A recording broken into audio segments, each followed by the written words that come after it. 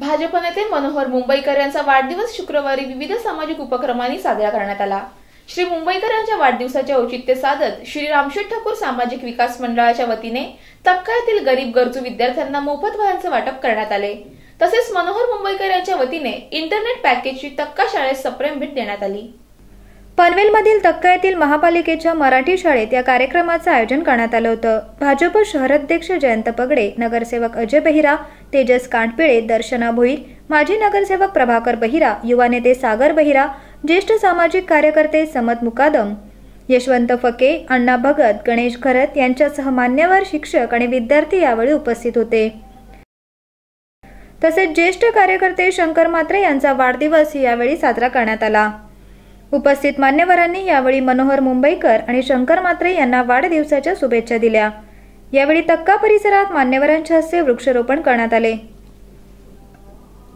या कार्यक्रमाच्या निमित्ताने त्याला आपण दुर्गशंकर आयोग म्हणू.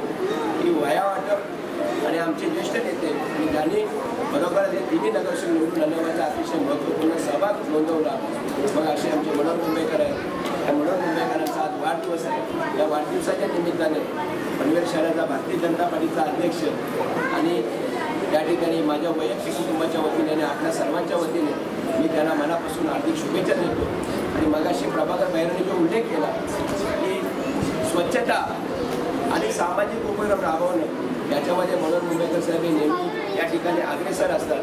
आणि आपल्या एक वेगळ्या सामाजिक कार्याची सुरू त्यांनी वेगवेगळ्या कारणांच्या माध्यमातून निश्चितपणे या ठिकाणी दाखवलेली आहे. आणि त्याने केलेल्या या बहुमूल कार्याच्यामुळे भारतीय जनता पार्टीला आणि आमच्या सर्व मंडळाला देखील आणि ग्रामस्थांनी फार मोठा फायदा झाला आहे त्यांचा स्वभाव देखील अतिशय मनमुला आणि चांगल्या स्वभावाचा आहे. सर्वांशी आसंतुष राहणारे सर्वांशी मनुकुलापणे वागणारे आणि सर्वात सहजपणे दिसणारे म्हणून त्यांची प्रतिमा आहे. मी त्यांना या वाढदिवसाच्या निमित्ताने एकोणपन्नासावा वाढदिवस आहे.